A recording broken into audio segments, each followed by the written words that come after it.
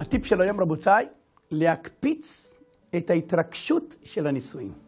אנשים חיים בנישואים שלהם, והשגרה אוכלת, והכל, והכל נהיה כזה מונוטורי. מה אנחנו עושים? מקפיצים. אחד אומר לי, תאמין, איך אני, איך אני אסתדר? אני נוסע עם אשתי באוטו. שעה, שעה ורבע, נוסעים לאירוע, נוסעים לאיזה מקום.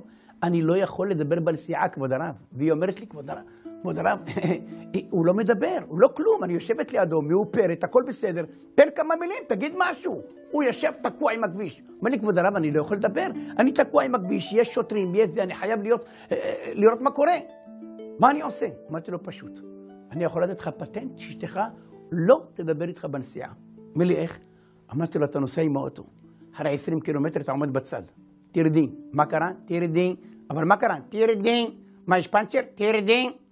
איך שהיא יורדת, אתה מוציא אותה, שם אותה ליד איזה עץ, ומהר מוציא מהאוטו מצלמה, פלאק, פלאק, פלאק.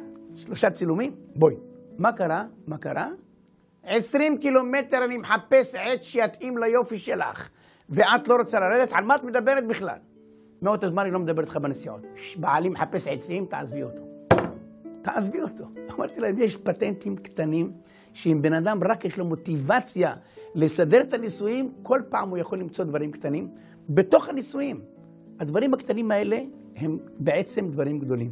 תעשה אותם, אצלך אולי זה קטן, אצל האישה זה ענק. אל תשכח.